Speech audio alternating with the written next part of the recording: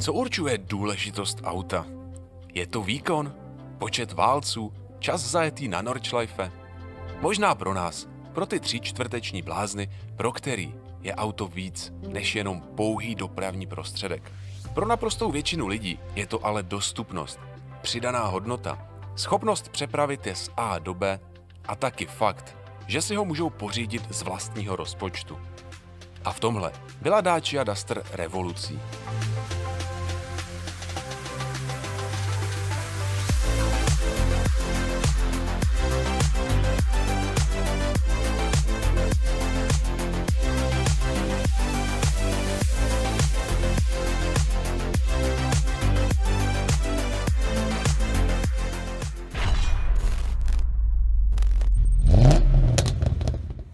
Dacia Duster je bez přehánění legendární auto.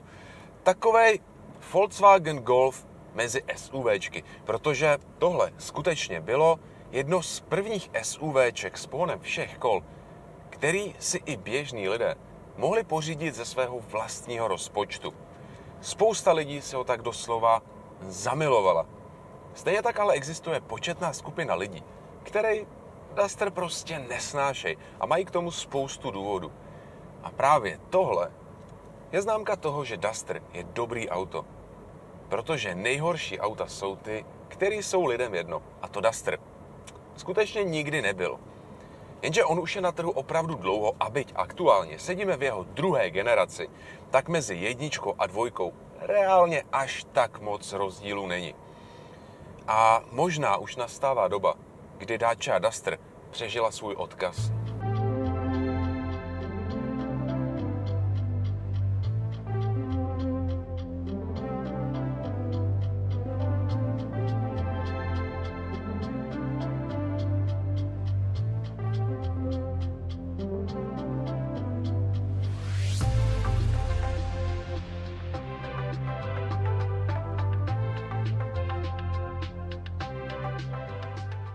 Dacia Duster přijíždí v další, snad už poslední omlazené verzi, protože za humny je její nová třetí generace, kterou uvidíme už za pár měsíců. Možná. Na co tady máme novýho? Největší změnou je nové logo, které se roztáhlo přes celou masku a nutno říct, že s ním auto docela prokouklo. Vzadu je potom místo loga jenom nápis a co se mi strašně líbí, takže místo klasického chromu použili bílou barvu. V základu jsou tady taky ledkový světla, a to jak pro denní, tak potkávací svícení. A nutno říct, že svítí až překvapivě dobře. Jinak je to pořád taková ta stejná krabička se vzhledem offroadu. A víte co? Mně se Duster líbí a vůbec se za to nestydím. Snad až na tu šedivou barvu, ale dneska je prostě v módě pouštět ven auta v podkladovce. Hele, mít ji tam nemusíte. Teď tu mám ale jednu bombu. Tohle auto je předokolka a stojí 600 tisíc. Hm? A důvod byste neuhodli. Tak pro všechny, který video doteď ještě nevypli, anebo nespadli pod stůl po oznámení ceny. Ten důvod, proč tohle má cenovku, která je skutečně vzdálená představě o dostupném lidovém SUV, navíc když ještě nemá pohon všech kol, je pohonné ústrojí. Pod kapotou tohle z toho šedivého drobka je totiž přeplňovaný čtyřválec, který má 150 koní a 250 Nm. A přátelé, je spárovaný dokonce s dvojspojkovou převodovkou. Ano, Duster s přeplňovaným čtyřválcem a dvojspojkou. Skutečně tohle někdo potřebuje. Hmm, abych byl zcela upřímný, tak musím říct, že v téhle kombinaci Duster skutečně jede jako píchlá svině. On totiž váží jenom 13 kg a při pohledu do tabulek a zjištění, že zrychlení na stovku mu tabulkově zabere 9,7 sekundy, tak byste možná nečekali to, co tohle auto ve skutečnosti dokáže. Ona, ta hodnota zrychlení je totiž především nastavením převodovky, protože i přesto, že se jedná o dvojspojku, tak rozhodně tohle není ten typ převodovky, který by preferoval rychlost před čímkoliv jiným. Ono už rozjezdy jsou poměrně vlažné, ona s klidem nechává prokluzovat spojky a i změna rychlosti není úplně blesková a tohle je přesně ten typ převodovky, který vyměnil rychlost za jemnost. A já osobně tomuhle fandím, protože na co mi Duster, který přeřadí za setinu vteřiny, když to s váma pak bude házet. Je tedy pravda, že především při pomalém popojíždění si zachoval takový ten klasický neduch dvojspojek, že když chcete jet pomalu, třeba parkujete, tak to auto prostě poskakuje a musíte si ho trošku krotit přes brzdu. Jinak ale musím říct, že naladění převodovky a především spárování s motorem naprosto v pohodě. No a ten čtyřválec jako takovej, vlastně nemám, co bych mu vytknul. Má příjemný zvuk, je hezky kultivovaný, jemný, rád se vytáčí, výkonu víc než kdokoliv v Dusteru bude potřebovat. Prostě fajn. Snad eh, jediný, za to nemůže ani ten motor, ani převodovka, za to může snaha vyhovět emisním předpisům Evropské unie, protože občas, když se chcete rozjet, tak on trošku váhá s podřazováním a snaží se za každou cenu vyvíst na krouťáku a občas se vám to odmění spíš takovým nemastným, neslaným záběrem a duněním do kabiny. Pak si najednou uvědomí, OK, hele, prostě ty to nevzdáš, fakt chceš to dělat, podřadí třeba o dva, o tři najednou a frčí to. Pokud vám tohle vadí, můžete si samozřejmě řadit manuálně. Jinak eh, Duster je s tímhle schopný se rozjet až na 180. To ale není maximálka, to je omezený elektronicky a od těch 180 se zarazí jako o zeď. Je to samozřejmě z bezpečnostních důvodů, protože aerodynamika ani podvozek Dusteru, nalejme si čistýho vína, na takovýhle výkon není připravený. Jakmile na to auto ale šlápnete, tak Nebudete věřit, že tohle skutečně dokáže Duster. A nebavíme se jenom o rychlostech mezi 70 a 90, ale i ve 130 při dálničním maximu. To auto se umí tak krásně rozjet, že když se na vás nalepí nějaký hrdina s bílou služební oktávkou, tak jenom sledujete ten nechápavý pohled. Trošku se to podepíše na spotřebě paliva, protože ta se mi za celý týden nepodařila sklepnout pod 7. Už jenom možnost mít v Dusteru motor, který má 150 koní, mi přijde zajímavý. Jenom se musíte rozhodnout, jestli chcete automat, anebo jestli chcete čtyřkolku. Už jenom kvůli té ceně si myslím, že tahle pohonná jednotka je svým způsobem diskvalifikovaná a určitě nepotřebujete automat. Duster v manuálu funguje naprosto v pohodě, ta převodovka tam vlastně ani není špatná a vždycky v tomhle autě bych dal přednost 4x4. I tak se ale bavíme minimálně o nějakých 560 tisících, což za Duster pořád není úplně málo. Dacia Duster je miláček našeho národa. O tom svědčí i počet registrací. Z CBI se nám podařilo zjistit, že jich je u nás aktuálně registrováno 41 283. S počtem 23 216 jasně vede benzín. Naopak nejméně je LPGček. Těch je jenom 5592. Skvělou zprávou je, že rovných 91% bylo u nás pořízeno jako nových, což pomůže s dohledáváním historie. Při hledání ojetiny ale buďte opatrní, jelikož Duster často sloužil jako pracovní nástroj, mohl projít tvrdým životem. Před nákupem si tedy nechte auto prověřit na www.cbia.cz. S kódem z popisu videa získáte na prověření slevu. Nově můžete stahovat i reporty z STK. Prověřením před nákupem se vyhnete podobnému překvapení jako tady. Chudák auto vypadá, jak kdyby vypadlo z letadla. Jde o téměř kompletní destrukci, kde nezůstal ušetřený jediný nosný prvek. Takové auto mělo rovnou zamířit do lesu, ale nějakým zázrakem se objevilo u nás v Inzerci jako atraktivní ojetina s nájezdem pouhých 15 000 kilometrů. Určitě se nechcete dozvědět, že jste jediný majitel Dacia Duster Roadster na světě. Žádnou velkou revoluci nečekejte ani tady uvnitř. V podstatě jediný, co se změnilo, tak je logo na airbagu a potom taky výdechy klimatizace, které už nejsou takový ty retro, kulatý a tenhle tvar daleko víc koresponduje s celkovým designem Dustru. Jinak všecko při starým. Klasický analogový budíky s monochromatickým displejem uprostřed, Funguje to, nemá s tím žádný problém. Celá tahle část je vynikající, je to jednoduchý na ovládání, ergonomický, super. Display infotainmentu je tady prostě. Systém jako takový je opravdu hodně jednoduchý. Má navigaci, můžete přesto použít Apple CarPlay, ale upřímně moc dobrýho o tom říct nemůžu. Za prvý, ten displej je absolutně nečitelný na přímém světle. Za druhý, několikrát během týdne mi úplně vytuch, že na nic nereagoval. A i Apple CarPlay, i přesto, že je přes kabel, tak mi neustále padalo. A to se bavíme v rámci desítek minut, kdy bylo potřeba přepojit, vypojit kabel. Dokonce se mi i stalo, že mi obrazovka úplně zčernala a několik minut se mnou auto vůbec nemluvilo. Další věc, která mě rozčiluje, takže středový displej se vždycky po nastartování resetuje do původní polohy. Takže jestli jste zvyklí třeba koukat na rychlost, tak po každém startu budete zase muset rychlost navolit. Je to neuvěřitelně otravný. Tak je interiér i přesto, že Duster není úplně nejmenší auto na planetě, hodně stísněný. Do pravý nohy mě tlačí středový tunel, do levačky zase madlo dveří, jsem hodně naražený na čelní okno a celkově si tady připadám takovej zmáčknutý. Ještě s tím, jak to má nízký okno a poměrně širokou kapotu, tak je to trošku klaustrofobní. Samotný posaz je taky trošku zvláštní, protože pedály jsou malinko vyoseny doprava a sedačky jsou až moc měkký, přesto nemají dostatečnou podporu. Takže asi po dvou hodinkách, když jsem tady takhle skroucený, tak už mě začínají bolet záda. To, že je to tady Samej tvrdý plast mě ani v nejmenším nerozčiluje, prostě to auto takový je. Aspoň to vydrží a nemusíte se o to moc starat.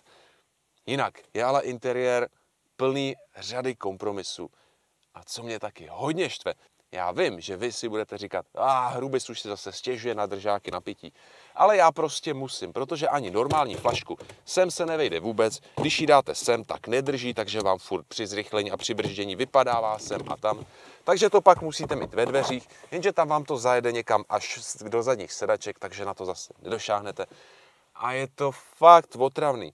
Chci to tak moc, když si jenom chci někam odložit v autě pití. No a zadní sedačky, ty moji tezi o skrčenosti interiéru jenom podporují, protože teďka sedím sám za sebou a jak vidíte, tak v žádném směru nemám prakticky žádný místo, i loket mám úplně naládovaný ve dveřích, a je to tady opravdu poměrně zcvrklý. Co je fajn, takže jsou tady aspoň dvě USBčka a tady mám i 12 voltovku. Potěší taky kufr, který má skoro 450 litrů, ale možná bych ocenil, kdyby se zadní lavice šoupla o malý kousek dozadu a tady přeci jenom vzniklo o něco víc místa, protože na trhu jsou i menší auta, které na tom jsou vzadu líp. Navíc tady chybí dokonce i loketní opěrka nebo průvlak na lyže. Sedačky se skládá jenom 40 ku 60. No, co si budeme říkat, je tady prostor k zlepšení. Co předvádí Duster na silnici? Jak se projeví jeho spíš agrární původ?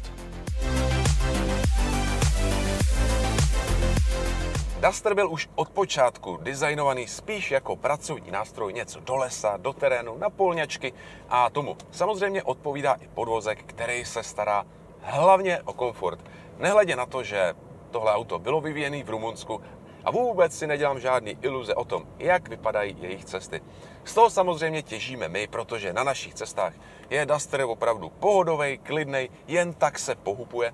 Snad jenom ten komfort není úplně nejkultivovanější a třeba když jedete pomalu někde po městě, tak on působí trošku nervózně, tak nějak se trošku třepe a občas s váma vevnitř pohazuje. Jinak je to ale prostě pohodový, klidný auto, který mu jde hlavně o komfort. A nejvíc se mi na něm líbí taková jeho houževnatost, protože vy když jedete po sebehorším povrchu, tak máte pocit, že mu to prostě nevadí. On si sice občas zadupe do podvozku, do kabiny, ale nic nepustí. Vozívají se takový zvláštní zvuky, ale vy zkrátka tomu autu věříte, vy cítíte, že se nerozpadne a na našich silnicích je tohle skutečně vlastnost, kterou umím ocenit. Překvapivě slušný je taky odlučnění. Dokonce ani ve vysokých rychlostech nijak netrpíte. Změní se to jenom, když například začne pršet nebo jedete po nějaký polňačce a auto vám odhazuje bordel nebo vodu do podběhu. Tak to prostě mlátí dovnitř, protože ty nejsou odlučněny a všechno vám to zvedá přímo do karoserie. A to není úplně příjemný. Duster je ale především pohodář, který vás chce hlavně v klidu dostat z A do B. Rychlá jízda ho moc nezajímá, řízení je takový netečný, hodně přeposilovaný a trošku mu chybí přesnost. Společně s tím opravdu hodně měkkým podvozkem. Něco uděláte a ono chviličku trvá, než se to dostane k podvozku, takže mu musíte i dát čas na zareagování a je to prostě auto, ve kterým se vyvezete na nákup nebo někam na nějaký výlet maximálně. V případě téhle předokolky navíc je vzadu jenom klasická vlečka a ta díky tomu měkkému tlumení umí občas být i docela nervózní a v zatáčkách poskakovat. Především, když vás v zatáčkách potká nějaká nerovnost a vy to trošku přepísknete z rychlostí, tak Duster se umí i nepříjemně roztancovat. Můžou za to především ty měkký tlumiče, který mají navíc vysoký zdvih a stabilizátor na té zadní nápravě není dostatečně tuhej na to, aby zamezil to, že se odskok jednoho kola začne přenášet na druhý. A ono to auto, namísto toho, aby dělalo takhle, takhle, takhle, takhle, tak dělá spíš takhle, takhle, takhle. A nerovnosti se zkrátka přenáší z jedné strany karoséra na druhou a občas se umí taky nepříjemně svíst. A to taky není úplně nejpříjemnější překvapení. Ale jestli jste si koupili Duster kvůli tomu, abyste jezdili rychle, tak jste pravděpodobně šílenci. A on už i ten samotný charakter podvozku napovídá tomu, že ta 150 koňová 13 stovka je možná zbytečná.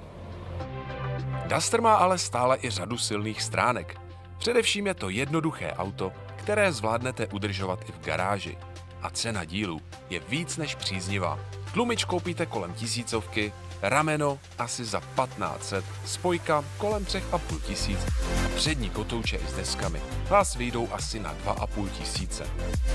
Všechny díly doporučuji nakoupit na mroauto.cz. Spolehlivý e-shop s doručením po České republice do 24 hodin. S kódem HRUBIS teď navíc získáte na celou objednávku slevu. Ať máte čtyřkolku nebo nemáte, zůstala zachována vynikající světlá výška 22 cm a velice krátký převisy. V terénu, pokud je sucho a pokud máte slušný gumy, tak se chování předokolkového Dastru až tak moc nezmění. A nějaký takový ježdění po polňačkách, tak v tom vás absence zadního pohonu vůbec nebude omezovat a pořád je to auto, na který je spolech a v klidu s ním můžete vyrazit i někam mimo silnice. Bohužel se tu ale už roky potýkáme se dvěmi stejnými problémy, kterými vadí už od představení Dastru. Tím prvním je, že nejsou krytý Prahy. Navíc jsou tak široký, že je prakticky nemožný z auta vystoupit, abyste si neumazali nohavice.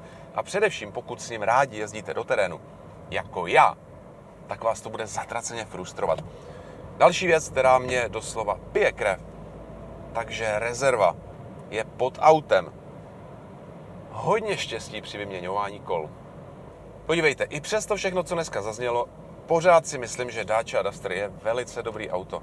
Je to prostě takový upřímný, jednoduchý, analogový parťák, na kterýho je spolech. A když se s ním jdu svíst, tak překvapivě si to vlastně i užívám, protože tohle zkrátka pocitově i konstrukčně je starý auto a toto před vámi neumí příliš skrýt a jak mu chybí jakási sofistikovanost a dokonalost modernějších vozů, no tak vy zkrátka musíte řídit. A to je příjemný a je to jedno, jestli jedete v rychlém nebo v pomalém autě. Ve chvíli, kdy víte, že k tomu, aby se pohybovalo, vás potřebuje a musíte vyvíjet nějakou snahu, nějaký um, tak ta jízda vás zkrátka vtáhne daleko víc. Zároveň je to taky auto, kterýmu naprosto věřím, u kterého se nebojím, že ho nějakým způsobem poškodím, protože prostě drží, je robustní a lety prověřený. A jako takový ho mám opravdu rád. Jedním dechem ale dodávám, že Duster zkrátka musí být ve čtyřkolce. To auto tak vzniklo, to auto tak bylo konstruované a byť nejezdí špatně v předokolce, tak bez toho pohonu všech kol pro mě ztrácí jaksi svoji duši. Pokud chcete levný auto nebo dáči v předokolce, kupte si radši Sandero Stepway. Jezdí líp, má víc místa v interiéru, lepší technologie a i v té nejvyšší výbavě. Stojí 440 tisíc korun. Pokud jste ten typ člověka, který preferuje velikost kufru, tak si kupte Jogger. I ten je pořád levnější než Duster. Duster zkrátka jedině ve čtyřkolce. A na rovinu, klidně se vyhněte týdle 150 koňové variantě.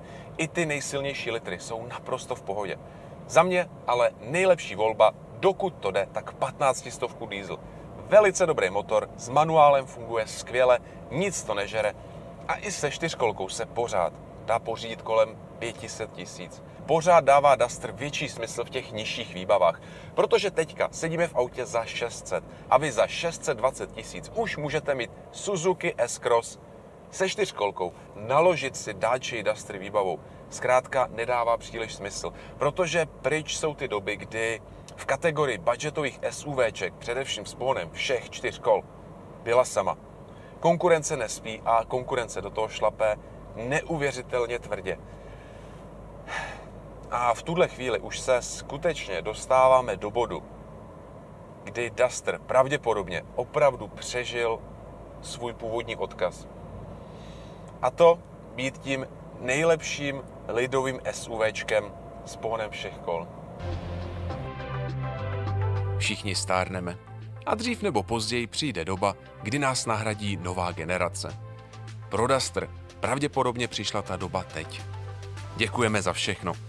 Pust už na výsluní své mladší já a užij si důchod.